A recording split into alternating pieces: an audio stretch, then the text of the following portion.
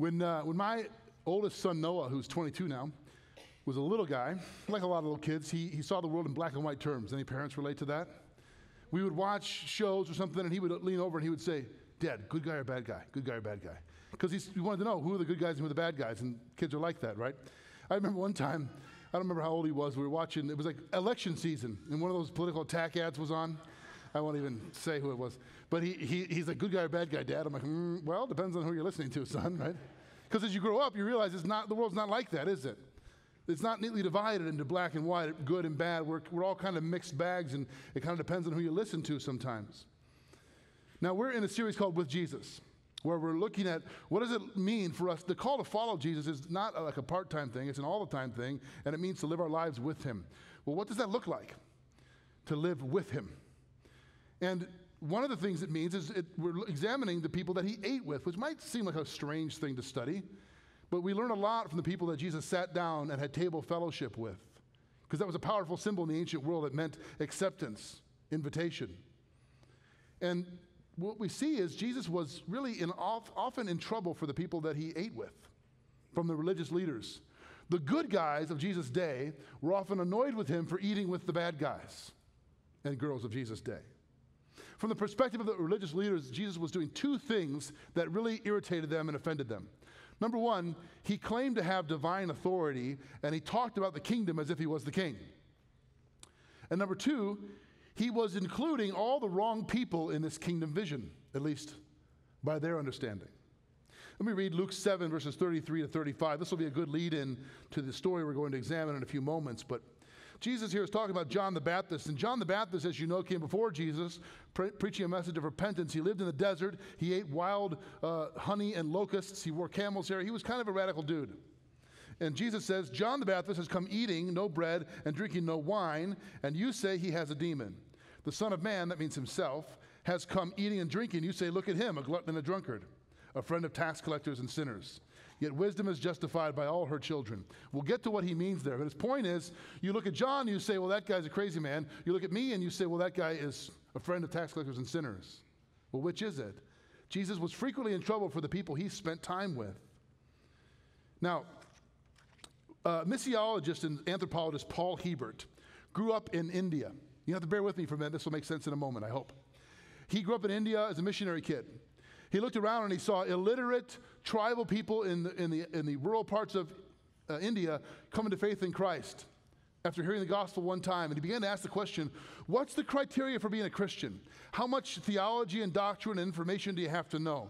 Can you become a believer in Jesus only hearing the gospel one time? Or do you have to know some stuff and read some stuff as well? He wrestled with this question, and to answer it, he imported concepts called set theory from mathematics. Now, I'm terrible at math, but I think I get it as he brings it inside of, of, uh, of, of, Christian philosophy. So you'll see here on the screen what, call, what, he, what are called bounded sets and centered sets in math. He brings them inside this question about what's a Christian. Okay? So a bounded set is static. It's defined by boundaries and limits. Right beliefs, right behaviors, you're inside. Wrong beliefs, wrong behaviors, you're outside. You get it? There's a, there's a boundary. Now, clearly, there are boundaries to our lives, and there are boundaries to what it means to be a true believer in Jesus. But a bounded set means there's insiders and outsiders based on what we believe and, and how we act. A centered set is different. A centered set is not defined by, uh, it's, it's dynamic, not static. It's not defined by boundaries, but by movement. In other words, the people or the things in this set are moving in a particular direction toward the center. So, to put it in Christian terms, a Christian is somebody who has Jesus as the center of their life and they're moving closer and closer to Him. And what Hiebert said is that for, for many Christian traditions, we use only bounded set thinking, only who's in and who's out. And what we ought to start thinking about is centered set thinking, meaning what it really means to follow Jesus, to be with Him, is to have Him as the center of your life and to continually move closer to Him. Because if you do that, He'll rearrange your thinking, He'll rearrange your behavior, you'll become more and more like Him. Okay, well, the Pharisees and the religious leaders of Jesus' day clearly had bounded set thinking. They clearly saw the world as insiders and outsiders, clean and unclean, good and bad, like my little son's question. Now, of course, there are some boundaries, as we said, But Jesus is looking at things a little differently. Let's read the story from Luke 7, verses 36 through 50. Uh, this is one of my favorite, I know I say this all the time, but this is it's really true. This is one of my favorite stories in all the New Testament. It's just an incredible, such a rich story. Okay. One of the Pharisees asked him to eat with him, and he went into the Pharisee's house and reclined at the table. And behold, a woman of the city who was a sinner when she learned that he was reclining at table in the Pharisee's house, brought an alabaster flask of ointment and standing behind him at his feet, weeping, she began to wet his feet with her tears and wiped them with the hair of her head and kissed his feet and anointed them with the ointment. Now, when the Pharisee who invited him saw this, he said to himself, If this man were a prophet, he would have known who and what sort of woman this is who is touching him, for she is a sinner.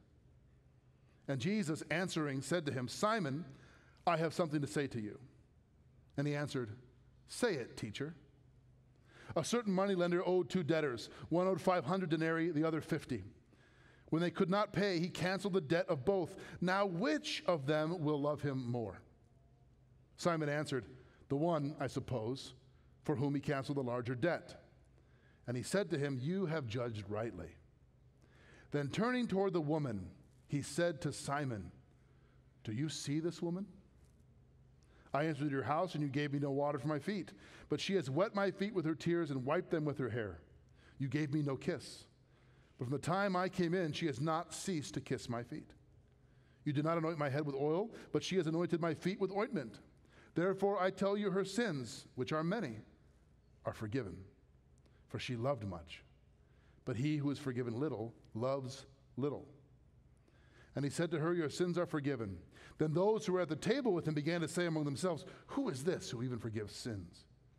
And he said to the woman, Your faith has saved you. Go in peace. It is such an amazing story. There's so much happening in, in this. Um, it's, to understand it, we have to understand a little bit about the cultural context in which this dinner party takes place, right? Jesus is a visiting rabbi, traveling rabbi, gets invited by a Pharisee over for dinner. Now, every culture has certain etiquette that's unspoken, but we all understand ways of greeting and honoring people or insulting them as well. For example, I've noticed that adult males and adolescent males in our culture have different ways of greeting. Have you noticed this? Adolescent males do- greet like this with the upward head nod. Sup? So adult males go the opposite direction. Hello, how are you, right? Adolescent males give the fist pound, adult males give the handshake. It's different. Have you noticed how adolescent female, adolescent females greet each other? Ah! They run. Oh, it's great to see you. I can't believe you look amazing. Right? Just, adult females, not so much. It's more of the side hug. Oh, Cindy, how are the kids? So we don't think, we, we don't think about it because we're in that culture, but we behave differently according to like acceptable norms and rules. So in first century Judaism, there were three, if you have somebody over for dinner, there are three non-negotiables, three things that just, you just did because it's part of the culture. It's the way you behaved. Number one, the kiss of peace. You greet your guest with a kiss. Now, if it's an honored guest, like a rabbi, you'd kiss them on the hand. If it was an equal, you'd kiss them on the cheek. But there's a kiss of peace. That was customary, normal behavior. Number two, you'd wash their feet. Well, probably you have a servant wash their feet. If they were very highly honored, you might wash their feet. Well, that would somewhat be humiliating for you. At the very least, you would give them water to wash their own feet, but that would be somewhat insulting. And number three, you anoint their head with oil. It's a way of symbolically saying, May God's favor rest on you in my home. It was, it was customary in their culture. So we see in the story, Jesus Invited over receives none of these no kiss, no water, no washing, no anointing. Now, it's important for us to get into our heads. This is, these are not like unintentional um, misses, oversights. These are intentional insults. Simon invites Jesus over, and it was not uncommon for a visiting rabbi to come over to a Pharisee's home and you know, have discussions about religious matters. That was normal behavior. But what's not, un- what is unusual is Simon's not inviting Jesus over to honor him. He's inviting him over to expose him. He thinks he's a fraud. He wants to show everybody this guy's not the prophet you think he is. That's why he treats him this way.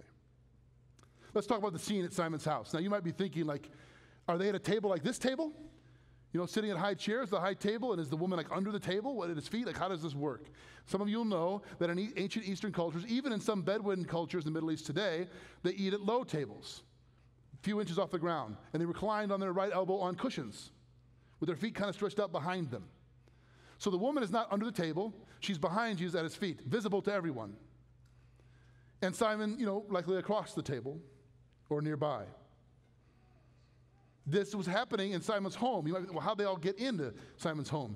Very likely, uh, Simon, being a wealthy uh, Pharisee, would have his home, like most of the homes of wealthy men in those days, like three sided with an open courtyard in the middle. And people from the town could gather on that open side. They couldn't come in to the dinner, but they could gather near open side and they could listen to the pearls of religious wisdom that dropped from the lips of the rabbis and sages and so forth. So it would be not uncommon to have this dinner party like this with religious leaders there and the townspeople gathered in that open area to listen in. Enter the woman who comes out of the crowd right to the table. This is shocking behavior. Now, I want to speculate a bit about what, what motivated this woman. We don't know, we're not told, but we know a little bit about her that she's a woman of the city, that she's a sinful woman, she has a reputation in town.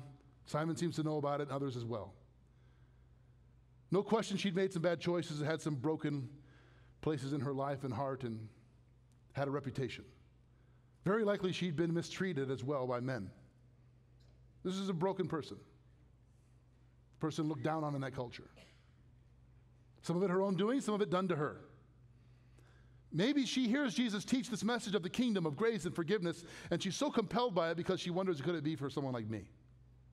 So she goes to the dinner party just to listen in from a distance. And she sees the way Jesus is treated, and it's breaking her heart. She can't stand it. But what can she do? Well, she goes forward and in her own way does what was not done by Simon for Jesus. It, letting her hair down alone, in that culture, for a woman to let her hair down in public was grounds for divorce. So, ladies, what's up? no, no, I mean, this is a different culture, right? This is shocking behavior. You would never touch a man who wasn't your husband.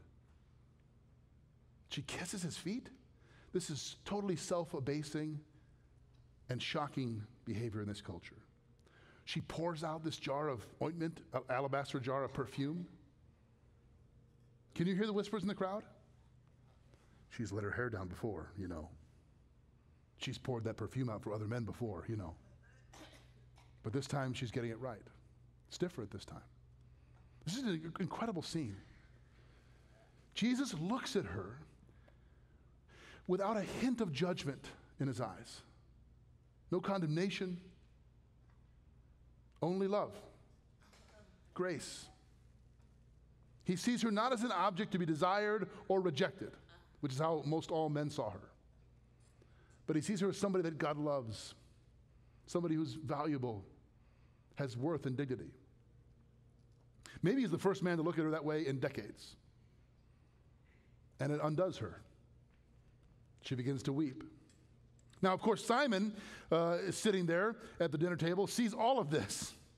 And this party's not going at all like he planned. And he thinks to himself, well, this guy clearly is not the real deal. I knew it. See? Because if he was, he would never allow this to happen. He should know better. Now, I don't think Jesus needed all of his omniscient power to know what was in Simon's heart in this moment. But the text is pretty cool. I don't know if you caught this. Simon is thinking these things in his head, and Jesus answers his thoughts. Jesus does this routinely, which I think is just so cool. He says, Simon, I've got something to tell you. And the implication is, you're not going to like it very much. Tell me, teacher. Can you almost hear the bite in his tone? He doesn't think he's a real teacher. Tell me. And he tells this amazing little short parable, which is so profound for us today. It says, Two men owed money to a moneylender. Now, in that culture, if you got yourself into debt where you couldn't pay, you were thought of as really, you were a loser. If you lended money, like a loan shark kind of thing, you were a serious loser. These are not, all three characters, moneylender and the two men, are not to be praised in this story, in other words. One owes 50 denarii. That's, that's 50 days' wages. A denarii is a day's wage on average. One owes 50 days' wages. One owes 500 days' wages. So it's a lot of money either way, but one is a lot more.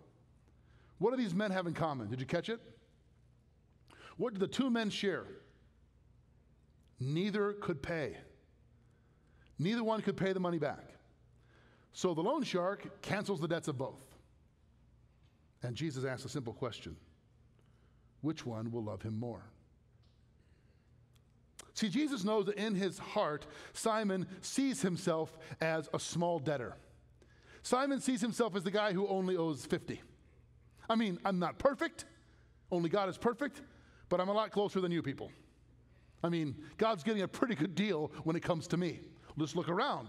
I don't do what that guy does, and I don't behave the way she does. I mean, I'm, you know, God, if, if God grades in the curve, which by the way he doesn't, but if he does, you know, I'm, I'm the guy setting the curve. That's how Simon sees himself. He wouldn't say that out loud, but Jesus knows that's what's in his heart. This is Simon's problem. He doesn't see what Jesus sees. He misjudges the woman, he misjudges Jesus, and he misjudges himself. And he needs to have his eyes opened. And I think so do we. Let's ask this question in three ways What do you see? What do you see? First, when you, what do you see when you look at other people? For Simon, this woman is outside the boundary. The bounded set, right? She's, she's outside the acceptable moral behavior. Let's look at verse 39. We get a picture into Simon's heart where it comes the woman. Now, when the Pharisee who had invited him to dinner saw this, he said to himself, If this man were a prophet, he would have known who and what sort of woman this is who's touching him, for she is a sinner. It couldn't be clearer how he, what he sees. He sees behavior, he sees an object to be ridiculed and disdained. Thomas Traherne was a 17th century metaphysical poet. He was C.S. Lewis's favorite metaphysical poet, so I had to read him. Uh, he read a book called A Century of Meditations, which is 100 meditations on life, the meaning of life. And meditation 63 goes like this You never enjoy the world aright until you esteem every soul in it so great a treasure as our Savior doth. I just think it's cool to say the word doth, right? Think about that. You never enjoy the world aright. You never live rightly in the world until you esteem, you see every soul, every person in it as a great treasure in God's eyes. That ought to convict you. Do you see every soul as a treasure? See every person in your life? Your next door neighbors? The guy behind you or in front of you in line? The guy cutting you off in traffic? People you work with? Look around the room for a minute. I know it normally looks straight ahead at the pastor, but it's kind of fun for me to make you look around the room. Look around the room. Go on, turn your heads, look. It's awkward, but that's fun for me. what do you see, right? You, these are people that God loves. Not just inside the bounded set of the church, but in the world. Uh, this convicts me. I don't, I don't always see everyone this way. You never really see the world right until you see people the way Jesus sees them as treasures objects of his love. Sometimes we just don't see. And we need to have our eyes open. Just, just this last week, I, I went to Colorado to visit. I'm in a pastor's group. We meet a few times a year to encourage each other and learn from each other. And I flew into Denver and was driving to Colorado Springs on 25, and traffic was brutal. I was just standstill on Route 25, and I was so annoyed. I sent my wife a text of all the cars in front of me, and with like one of those emojis, like ah, face, you know. And she texted back, and I said, "Look at this! I'm stuck in traffic. I'm going to be late." She texted back. She said, "Boy, the sky and mountains are beautiful." I was like, uh, "Oh yeah, they are." On my phone and in real life, you know. We just don't see, right? Sometimes we don't see what's right in front of us. We need to have our eyes opened. Let me read verse 44, the first part of it, where we get a picture of this. Then turning toward the woman, he said to Simon, Do you see this woman? What a question. I don't know if you're getting the scene here. Remember the table low reclining table, Jesus leaning on his elbow, looking at Simon, right? He, to, see, to turn toward the woman, what does he have to do? She's behind him. He has to raise up and turn and look at her. But he's talking to Simon. Isn't this like the drama? Hollywood can't touch it. He raises up, he looks at the woman who's weeping at his feet, and he's talking to Simon. He says, Do you see this woman? What a question. Does Simon see her? Well, I mean, with his physical eyes, he's aware that she's in the room. He doesn't see her. Not really. Not the way God sees her. I doubt anybody at the table or in the courtyard that night saw what God saw. Past the broken life, the abuse, the bad decisions, the shattered dreams, to a soul that God treasures, to someone he loves. It's inter- interesting to me, this woman never speaks a word in the story, at least not one that's recorded that we hear. But her actions tell us volumes about her, don't they? We know all we need to know about this woman. C.S. Lewis wrote that prostitutes are in no, uh, no danger of desiring their present life so much they would not turn to God. But I would submit that sometimes suburban Christians in Chicagoland are in danger of desiring our present life so much that we would not turn to God. She's broken. She has nowhere else to go. So she goes to the only place she can go, to Jesus. Imagine being this woman for a minute in front of all these religious elites, the whole ta- half the town watching. Jesus stares at you, speaks words of forgiveness and grace to you. And Jesus tells us that it's because of how much she knows she's been forgiven that she can love so freely. I mean, think about this woman. What's happening to her? She's leaving the crowd, going to Jesus, breaking all the cultural rules, right? Weeping, kissing, pouring out. All of this is an act of worship. Do you ever lose yourself in worship? I mean, like just forget where you are because you're worshiping Jesus. I don't do it very often. Every now and then, little moments, right? It's sort of transcendent, right? Most of the time, it's like, eh, praise Him. You know, that's a, what do we do around here? Because you're worried about what? What everybody else is doing and thinking. She has lost herself in the presence of Jesus. But for Simon, he can only love a little bit because he's only been forgiven a little, or so he thinks. Philip Yancey writes Not even God, with all of his omniscient power, can force a human being to love. Simon perceives himself to have little sin, therefore he needs little grace, therefore he has little love. Next question What do you see when you look in the mirror? One of the big issues for us, I think, is the failure to see our own issues, our own sin. I've used this analogy before, but it's true. Sometimes I, I, apparently have very, very little feeling on my chin because frequently when we eat food that has melted cheese, it ends up here and I don't know it. And my kids, when they were younger, would tell me, Dad, Dad, Dad. Benjamin used to say, cheese on your chin, cheese on your chin, Dad. And I'd go, oh, oh yeah. It became a metaphor for me of the stuff about my life that I don't see. You've got stuff on your, and it's, it's, you've got spiritual cheese on your chin, friends. Stuff that, about your life that isn't good, and, and, but everybody else sees and you don't see. What do you see when you look in the mirror? Do you see yourself as a small debtor? Pretty good on the whole? When the holiness of God and His perfection ceases to be our standard and we make other people the standard, we're in danger of becoming Simon in our heart. Get the wrong measurement. I think one of the beautiful things about this story, which I never saw for years, is that Jesus loves the woman clearly, but He also loves Simon. Why does he tell that little story? For the woman's sake? She already gets it. For Simon's sake. This proud, arrogant, self righteous guy, Jesus loves him too. G. Campbell Morgan says, Our Lord's love for the woman did not exceed his love for Simon. He was on his way to the cross for them both. When I read that, I, I just I, I hadn't seen that before. It's true. Verses 41 to 43 of the story. Again, the parable. A certain moneylender had two debtors. One owed 500 denarii and the other 50. When they could not pay, he canceled the debt of both. Now, which of them will love him more? Simon answered, The one, I suppose. Can you hear how reluctant he is to answer? Who, canceled, who had the larger debt canceled? You have judged rightly. The simple question Jesus asked Simon which one will love him more? Which one will have more love? What is Jesus saying? Connect this with what he says at the end of the story. He who loves little has been forgiven little. But who's been forgiven little? Put your hand up if you only need a little bit of grace. At least you're listening or not listening, right? Who are the small debtors in God's kingdom? There aren't any. There's only those who think we are. And that's Simon's issue. We all owe more than we can pay. But do you like the, the show, The Antique Roadshow?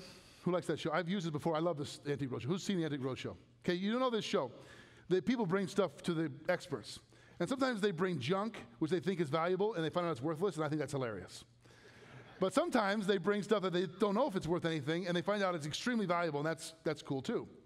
They bring like whatever it is, a picture they find in a barn, and they bring it to the, the expert. And then uh, there's that moment when the money, the, the, price comes across the bottom of the screen. You know, bring, hundred thousand dollars.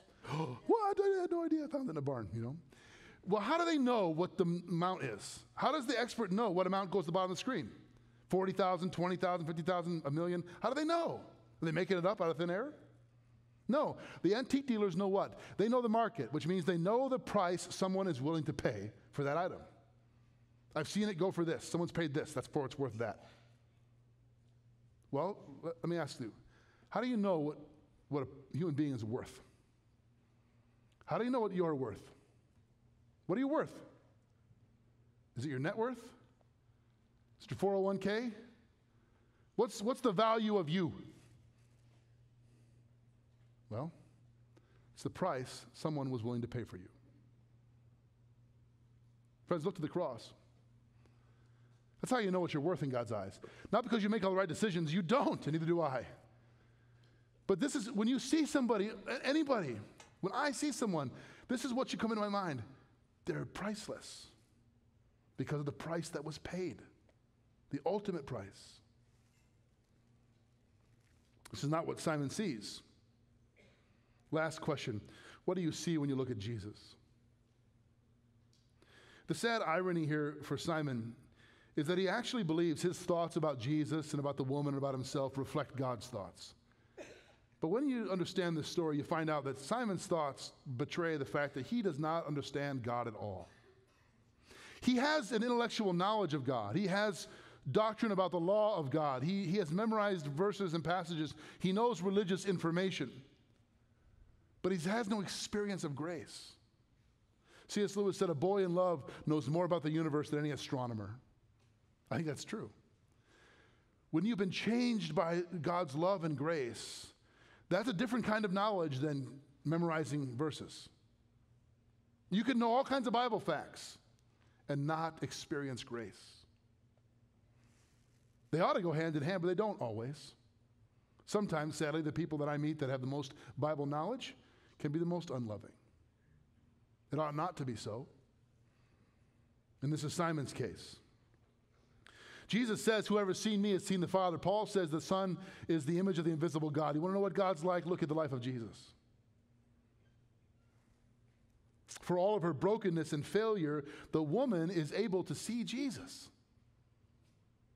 And Simon's not. Think about that for a minute. He's a guest. God is a guest at your dinner table, and you don't see it. You don't see it. Throughout this encounter at Simon's table, Jesus is raising an issue, a big question. It's explicit in the parable of the two debtors, it's implicit throughout the whole story. The question is this Who's the big debtor? Who's the big sinner? Remember what Simon says? He should know what she is. Simon thinks there's a big sin in the room, and there is, but it's not what he thinks. It's his own heart. It's eyes that are too proud to weep, hands that are too proud to serve, lips too proud to kiss, knees that won't kneel, and a heart that's too proud and stubborn to love. Now, I wish it wasn't true, but more often in my life than I'd like to admit, I'm Simon. I'm the one who thinks that I'm doing okay on the whole. Your capacity to love, friends, is directly related to your understanding of how much you've been forgiven. That's the point Jesus is making. You want to live a gracious, generous, loving life? You want to be free from fear and anxiety and having to hold on to everything for yourself and worried about your reputation and your image? Get in touch with your sin. It sounds counterintuitive. Get in touch with how broken you really are, and then you'll see how much you've been forgiven and then you'll be free to love. The woman is, and Simon is not. The woman desperately needed grace for a life that was broken. Simon desperately needs grace for a heart that is proud. I, I, look out this morning and I'm guessing there are a lot of Simons and a lot of the woman here. Which do you need? You need grace and healing for a broken heart? Or you need to have your heart broken because you're proud. The point of the story is Jesus loves you both. He loves us both. And the truth is, we're all a mixed bag, aren't we? Let's pray.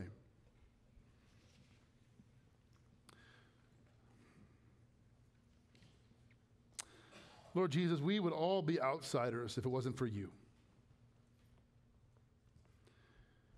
And we thank you that you don't view us that way. While we were yet sinners, you died for us. That you move toward us and ask us to give our lives to you, making you the center of our hearts. Thank you for your incredible grace for people that are broken like this woman and for those of us that are proud like Simon. We thank you that you love us both. We praise you in your name, Jesus. Amen.